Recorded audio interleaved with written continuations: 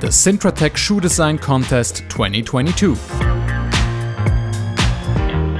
At the beginning of this year, we launched the Sintratec Shoe Design Contest. After receiving an overwhelming amount of creative and original footwear designs, we would now like to present our three winners. So, let's go! Our first winning design was hand sculpted in virtual reality by Cullan, also known as CK. His so-called studio mule surely is a sight to behold, with its shape resembling one continuous cord. 3D printed with our flexible TPE material, it convinced us not only with its unique looks, but also because it is in fact wearable and quite comfortable when it comes to walking in it. Our second winner was designed by René. His Tripstar slipper makes great use of the benefits that selective laser sintering offers namely an open star-shaped design and varying wall thicknesses to provide rigidity or flexibility respectively to certain parts.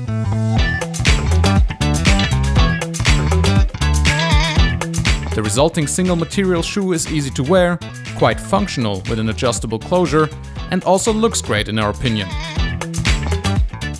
Our third winning footwear was created by Kedar, his human shoe concept sneaker caught our attention with its very detailed mesh structure and intriguing organic aesthetics. Because of its very delicate geometry, it was only printable to a certain degree and turned out too small to be worn. Nonetheless, we were simply fascinated by its appearance and design overall. Since we received so many excellent submissions, we picked three additional designs as our honorable mentions, which we also decided to 3D print and send to the participants. Our first honorable mention was also created in virtual reality, this time by Carlos. This futuristic looking shoe comes with a breathable upper and a rather special curled sole. Second up, we have the so-called Cell Runner by Kledis, this bionic-inspired design consists of a low poly-esque surface and a generatively created sole.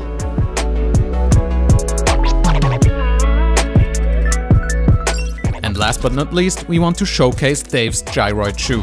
As the name suggests, this fluid-looking design features three different orientations of gyroids that are incorporated into the upper, midsole and outsole. These were the three winners and three honorable mentions of the Sintratec Shoe Design Contest 2022. We would like to thank all participants and hope you had as much fun creating as we had evaluating and testing your designs. Which shoe did you like the most? Let us know in the comments.